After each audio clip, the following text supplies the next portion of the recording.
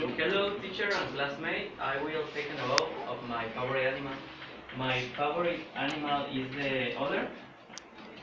This animal is mainly mainly located in the Ocean Pacific, one on in rivers to with the condition, uh, for example, the cold water on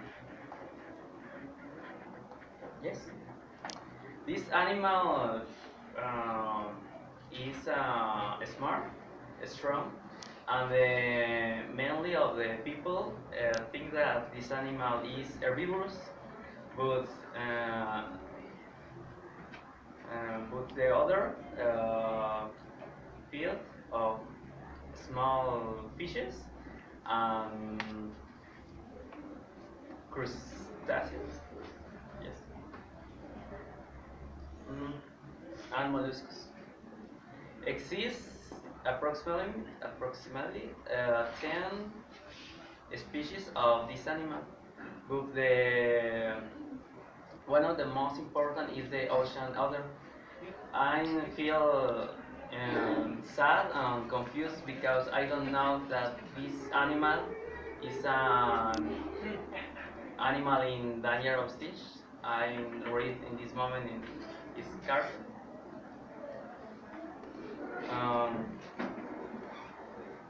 I watched this animal for in for first time when I am five years old in a documentary.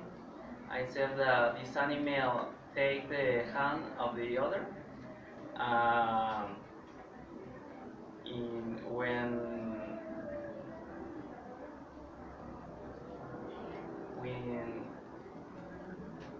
when in the river but now